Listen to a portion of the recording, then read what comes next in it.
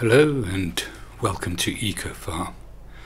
We are now into May, and one of the first jobs we're going to have to do is we're going to have to look to see if anything needs to be weeded.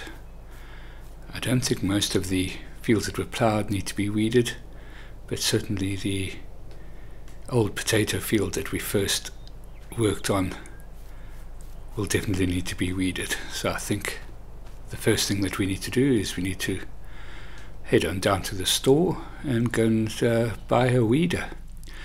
Of course, this being the Eco series, we will not be able to use herbicide, so we'll have to manually, well, not manually, but we would have to uh, mechanically weed, is what I think I was looking for. And I think we'll get this little puller, I think it's called, is it? Not quite sure. But um, yeah, I think it'll work. It's about the right size. Uh, the tractor can handle it nice and easily. And off we go. And we'll see when we get back to the farm and we'll get, get weeding. Yeah, so if you're wondering why we don't have to weed the other fields that we did, um, generally speaking, if you've ploughed up a field, um, you don't, well, weeds won't grow for that first season. So every time you plough the field, you um, effectively are killing the weeds.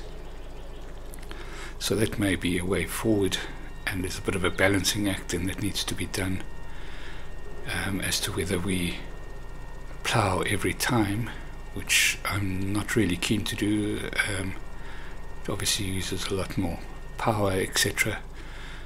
But then again, if we can plough with the with the um, with the electric tractor, that may be an option.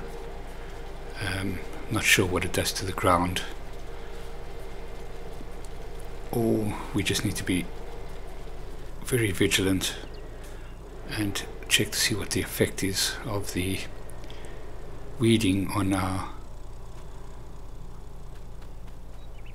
on our total uh, yield. If it's not too bad, then perhaps we can do sort of compromise and plough up every second time and just cultivate the other time.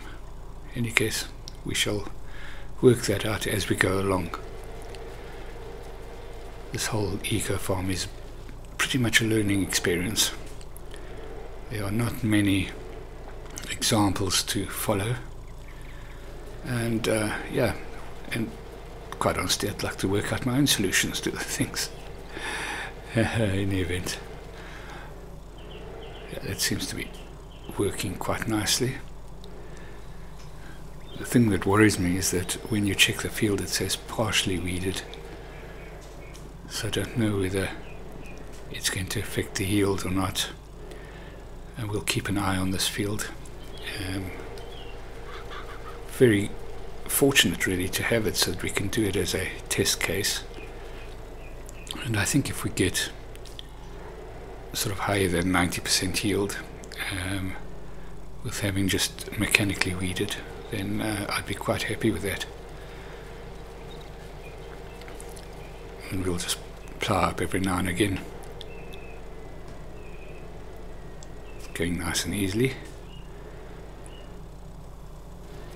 Tractor's handling the weeder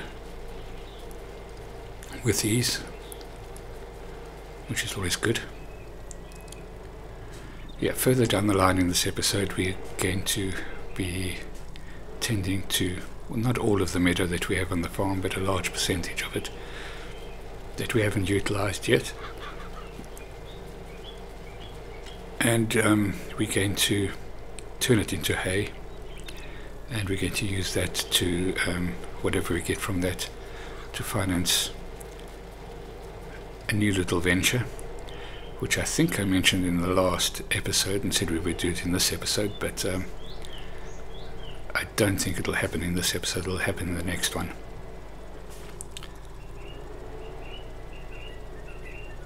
The um, I think the tending to the meadows is going to take quite a while there's a lot of ground that needs to be covered, and um, I don't want to hire any big machinery. I want to do it with uh, the available tractor that we have. Well, there you go. That's pretty much done. That's the weeding done for the season, basically. And as you can see there, it says partially weeded. Weed partial, so I'm not quite sure how that's going to affect us. We'll just keep an eye on that.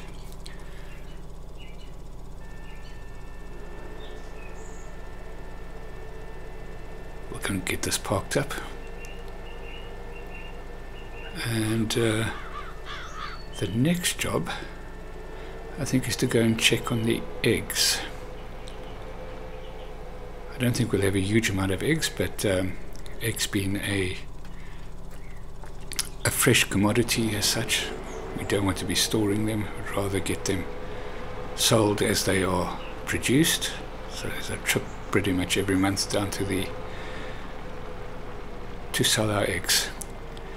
First of all, we need to convert our trailer to a trailer that can um, load pallets because our eggs um, our egg trays are on pallets so we're going to have a look at a vehicle workshop so that we don't have to traipse into the shop workshop to get um, to change the configuration of our trailer basically we just take the sides off and it's a bit of a trek down all the way to the to the store to be able to just take the sides off so let's have a look and see what type of vehicle workshop we can get.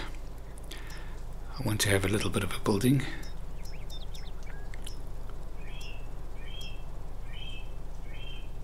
Because quite often I just use the little toolbox.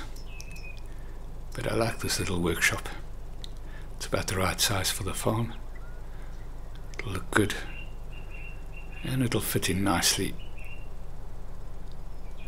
No, no, no, that would. Uh, no, I don't think it needs to be there. I think I'm going to put it where, if you start this game on um, on new farmer mode, there's a workshop. I think it's just in front of that stone, that stone, that that rock. Not the big outcrop, the small little outcrop there. Yeah, there we we're heading in the right direction now. There we go. Yeah, look at that. Fits in perfectly. No landscaping needed. That's where it needs to be. Nice and easy. Of course we need to put a solar panel up for that.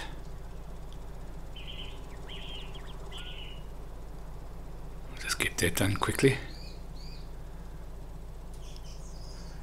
So it does cost us a little bit of money initially to um, to do the or to follow the rules of supplying power um, putting a solar panel up or a wind generator.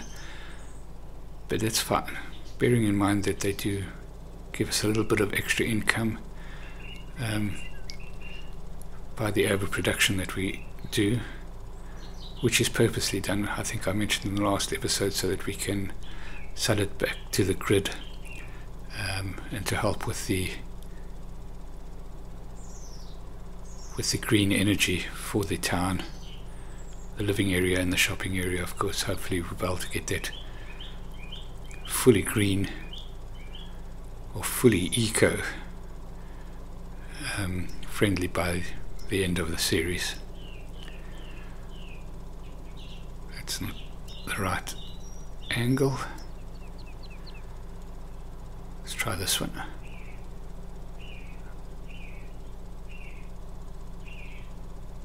It looks about right.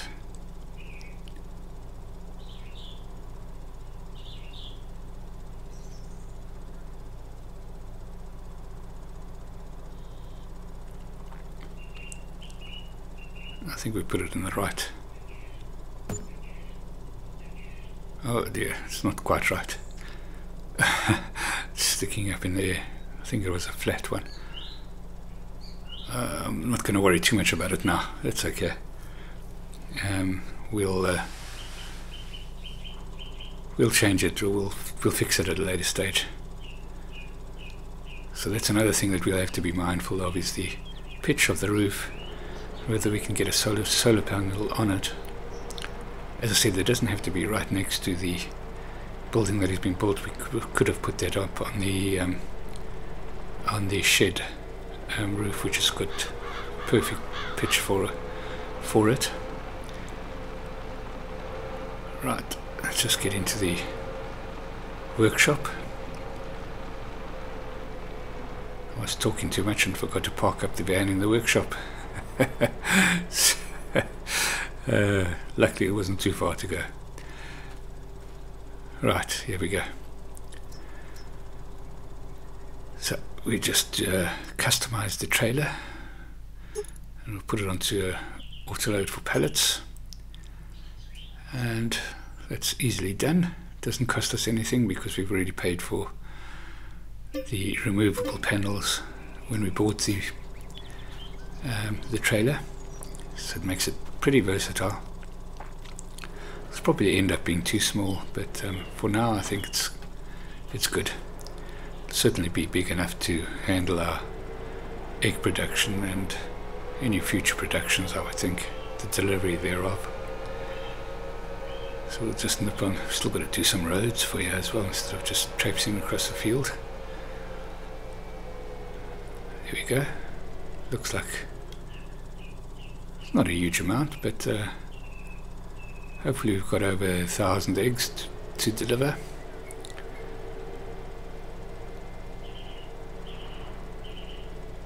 Chickens all looking nice and happy, running around the place. Right, we'll get that loaded. There we go, first lot loaded just have to go through to each little area.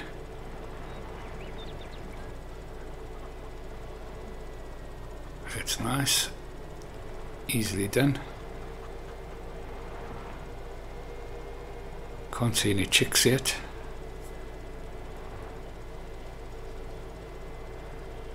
So of course, um, once the uh, first batch of chicks are born, we'll probably be at full capacity any um, chicks that are born that are over the capacity of the fields will just be sold automatically as day olds going uh, there's plenty of people are looking for day old chicks. Right that's good.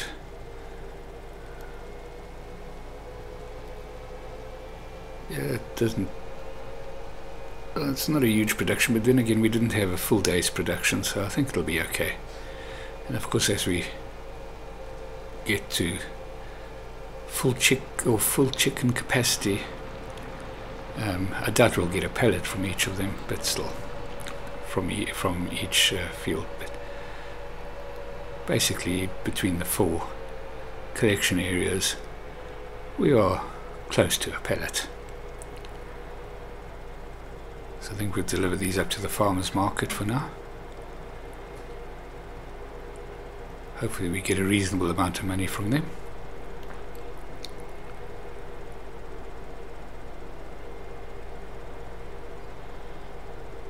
just need to take it nice and easily we don't want to speed in town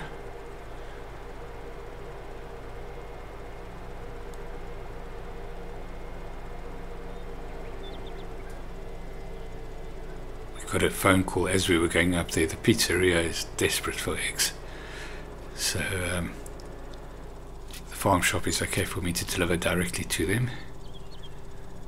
That's good. Yeah, I'm quite happy with that. So that's our first income from the farm. We're on our way, as they say. now we get back to the farm. And we're going to have to start with the pretty mundane task of uh, of tending to the meadows. So we're going to take a cut of grass off the meadows um, simply because we're not going to use them straight away so we just need to tend to them so that the take down all the dry stalks etc and of course it does give us a bit of grass, um, and I think, as I said, we will convert it into hay and sell it, and that will hopefully finance the next little bit of expansion that I want to do. But for now, let's get a mower organized. 75 horsepower, we can handle that quickly, we'll just lease it. And then we'll uh, nip on down to the shop and go and pick that up. Yes, with the mowing, it's uh, it's one of the perennial problems that we're going to have with um, having a small tractor. Oops, too far back. it's okay, at least we don't have to worry about it. we did it again just to, as long as it connects up. Hopefully, hopefully the shop didn't see it. I'm sure they did. Uh, any case, let's get on back up to the farm. Right, so we've got all this area behind these trees here, and it stretches up to the top tree line that you can see there. So, and quite a way down. But as we go through this exercise of uh, tending to the meadows, you will certainly get a feel for the size of the land that we have still available to us. Um, and I haven't fully planned out exactly how I'm going to utilize it, but I think this sort of flattish area here might be for some type of production um, that we will be able to utilize. So the flat, any flat areas will be utilized for for building things as such. So I'll start off just by doing this top area. I'm also trying to find it, basically where our boundaries are. and uh, it's one of my, my tricks of playing farming simulators if when I play um, something like this where like No Man's Land or Western Wilds or something like that to um, to find the boundaries I normally use the old mower and uh, it'll give you a good idea of where the boundaries are of the field.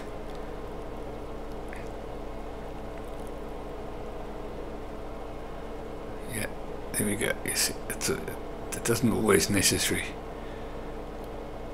look like it's straight, but it probably is. it's more likely me that's driving skew, as they say. uh, yeah, so we'll have to. I'm not going to be doing any removal of obstacles like rock outcrops, etc. So that's pretty much the whole area. So we've got a huge two-sided, two sides of a rectangular basic, basically. So this area that we're busy finishing off here now is um, runs up adjacent to the to the big field, to the top of the big field as, as such, and um, you'll see as we go back on our left hand side we'll have the um, the chickens. So it's a huge area of um, that we still have available to us and um, the tending of the meadows is basically just so that we cut down the grass so that it can grow again basically. Regenerates the area of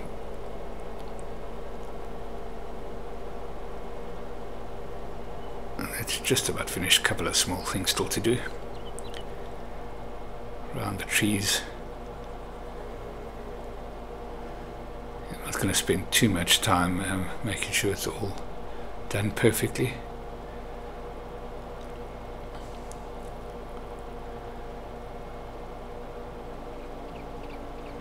so the scope for future development is is huge. Of course, we have to be mindful as well of um, of, doing um, and producing products that are going to benefit the town as well, and not just our pocket. And I suppose that's also part of eco farming, really, is, uh, to do it as, uh, as eco friendly as possible and uh,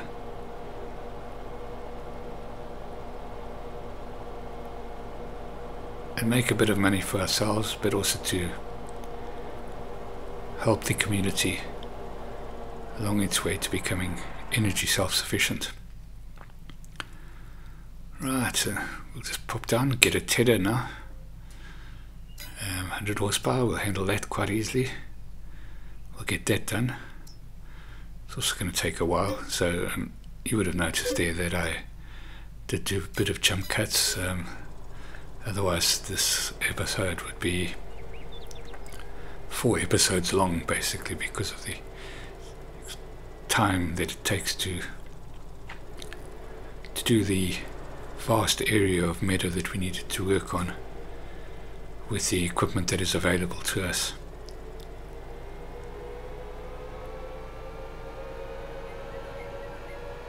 Did want to show you. Oh, that was that was close. Need to be a little bit more careful. Oh, we need to we need to go and uh, I was going to say refuel, but uh, we need to go and recharge. so the charging station is here. There's two charging stations here. They're quick chargers, so they shouldn't take too long. So the first thing that we need to do is we need to obviously um, help the uh, the town area to be able to utilize wind generators or something along those lines to supply the energy for these for these charging stations that are in town. At the moment I'm not sure we'd be generating enough income from the excess of our solar panels but as time goes by that'll be okay. also want to get one of these on the farm so that we don't have to be reliant on popping into town again. But that'll come a little way down the line, I think. Right, so we're back at the farm. We'll get the tedding done. This has got a nice decent width, so be a bit quicker than the than the actual mowing. There we go. This looks like we are going to get a better idea of where the boundaries are. Let's just see if that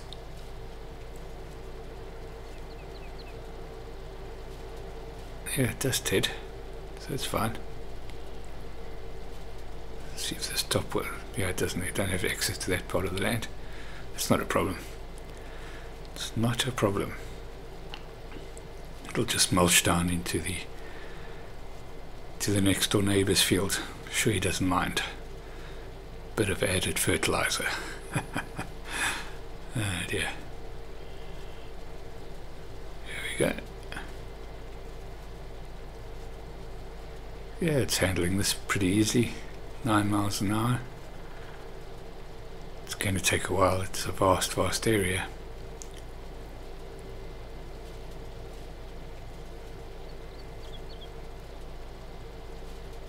So we'll put in some more lands here.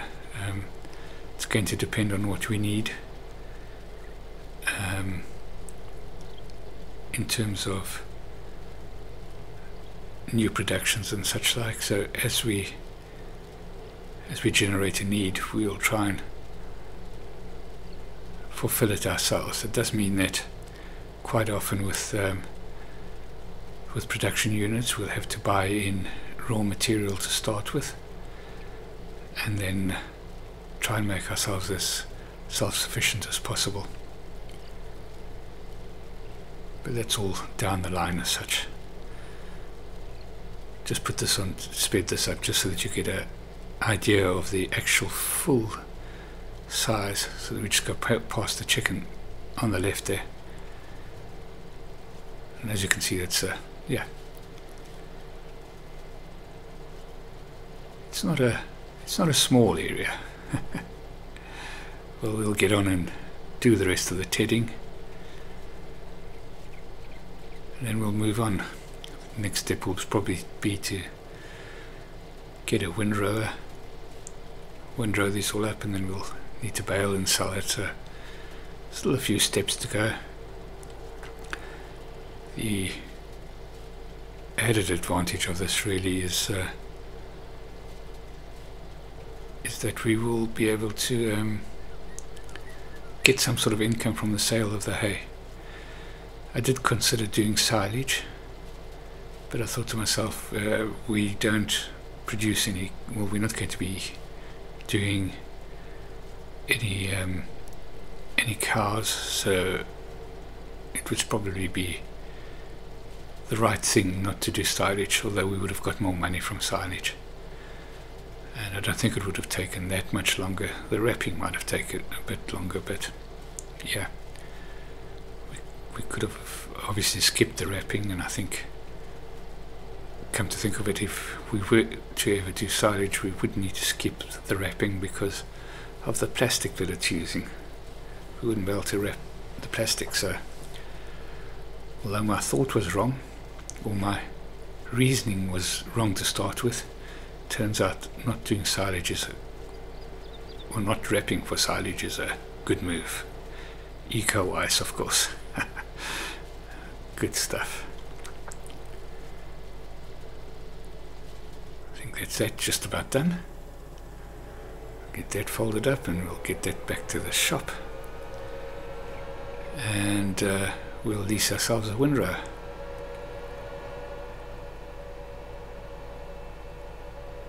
I don't think I've got anything missed. So we also need something that the that's big enough to handle the job fairly economically, and uh, we can pull 60 horsepower. Yeah, I think it'll do the job. It's not the biggest, but we can handle it with ease. So we've leased that. There are of course leasing costs that would be needed to be offset against the cost of the of the selling of the bales. But that shouldn't be too much of a problem.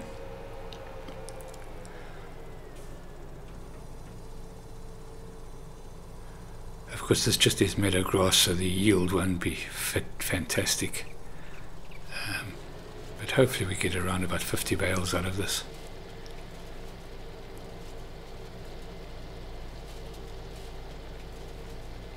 It's not going to make us rich, but I think it will uh, go a long way to getting us moving forward.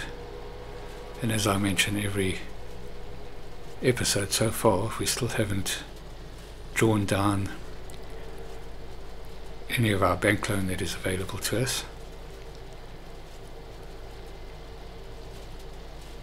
I did get an indication from the from the bank manager that it would be just shy of half a million euros um, in terms of our credit line with the bank, which is a little bit less than I'd hoped for, but I think we can manage that quite carefully. We'll most probably use it up quite quickly so that we can get moving, and then there will be a bit of a a struggle to, well, not a struggle. We'd have to uh, have a bit of a bit of a consolidation phase to um, to enable us to uh, to basically get the anything we spend the the bank loan on, get it producing. So I want to utilize that mainly for things that will produce income and of course green power somewhere along the line. Right, so let's. I'm sure you're getting sick and tired of my series and uh, utilizing this John Deere baler, but honestly, I don't think I've found anything that comes close to it in terms of the cost per bale, basically, of uh, of this machine. I think it is the most cost-effective piece of equipment in the whole of FS22.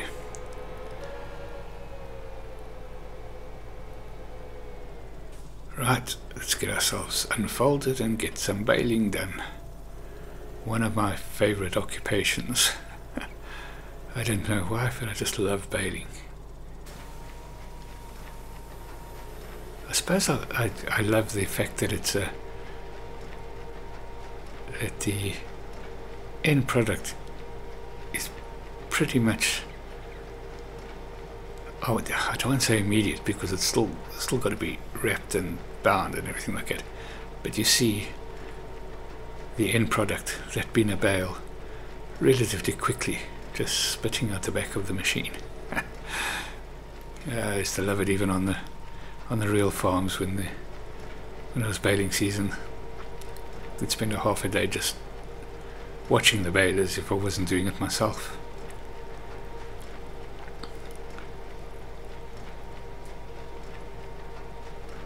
Quite often we'd get contractors in to do that. Uh, we didn't have our own balers on the farm. But still, yeah, there we go. You can see it being produced. Fantastic.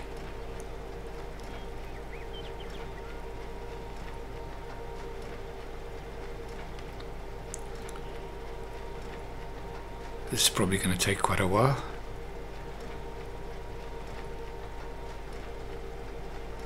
Quite a bit grass. As I said, the yield is probably not that great, so we won't get hundreds of bales. We'll get tens of bales, but I don't think we'll get hundreds of bales. I don't think we'll get anywhere near 100. Be happy with half that, about 50 bales.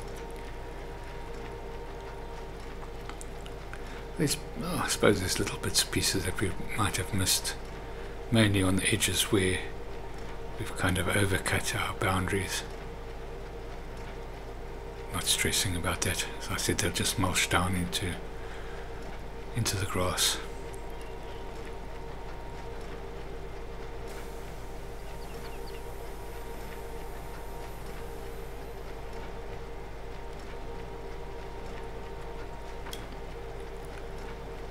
We'll just do a couple of more of these bells before we'll jump to the end. Just enjoying it too much. yeah, this whole operation in reality took quite a while. I wanted to give you a feel of the scope of it so that um, you could appreciate the the, um, the scale of the operation to get this these meadows just looked after basically. And we'll do that every summertime um, for areas that are not not being utilized.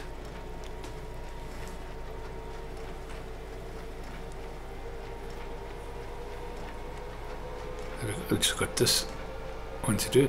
Oops. Didn't put the roller down. Wondered why it was going so quickly.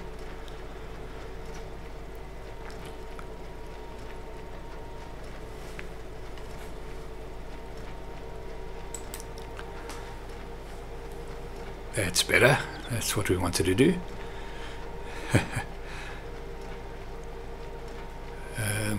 Actually, I think that was the first time that I that I did that on the um, on the whole of this um, this little baling escapade of ours, which is unusual for me because normally it's just about every second time I lift the there again I just cheated there and didn't even lift it when I drove around. Uh, what's my excuse? Oh, just trying to I was just trying to collect a couple of the bits and pieces that were lying around this tractor is struggling a little bit with this baler on the uphill I mean it is a fairly steep uphill I suppose it's not too much of a problem we'll get that offloaded and that's that done.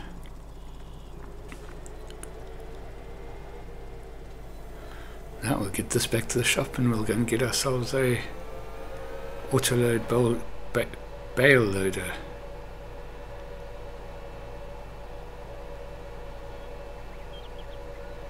Is our workshop in its glory? Yeah, that solar panel doesn't look good on there. I won't change it immediately because we're going to lose a bit of money on it and we'll have to put in something more in terms of power. We'll wait till we've got a bit more money and get it fixed up. There we go. This is a autoload trailer.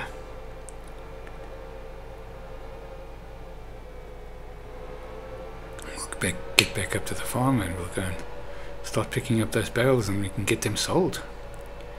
Make a bit of money. Here we go. Get that into the operating position. That's not it. Let's get going.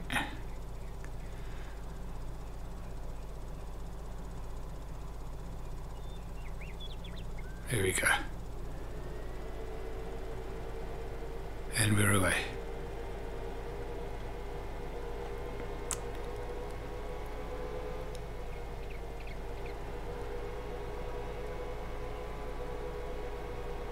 I suppose I could have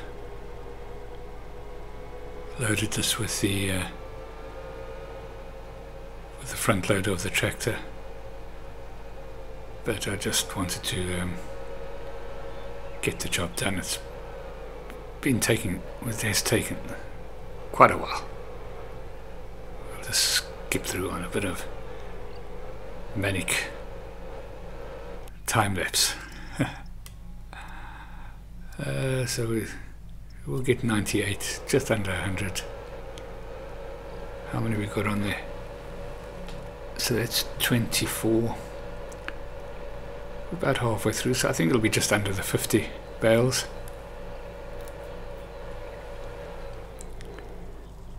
Get that offloaded. Now I've forgotten how to offload on this trailer. Uh, That's not it. Okay, there we go. Nah.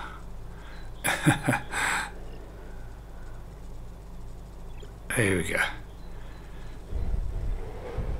Not the most realistic way of offloading, I suppose.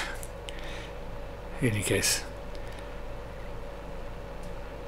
we try to be as realistic as possible most of the time, but sometimes needs must, as they say. Well, that's my excuse.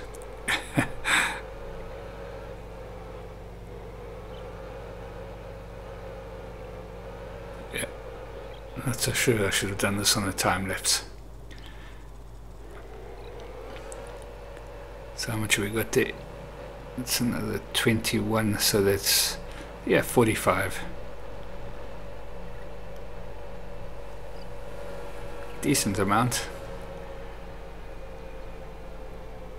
So 28.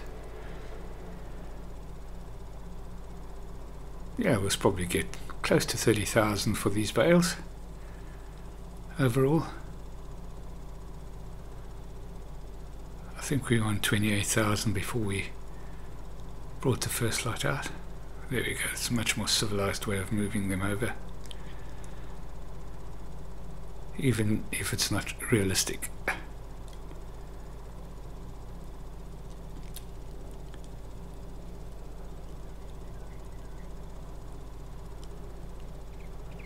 try and get them all onto the platform so that they yep they all go so there's 15,000 for that just over 60,000 yeah so just over 30,000 not to be scoffed at Well, that's where we're going to end this episode. Thank you so much for watching. If you've enjoyed it, please do like and subscribe, and we'll catch you in the next episode. Cheerio.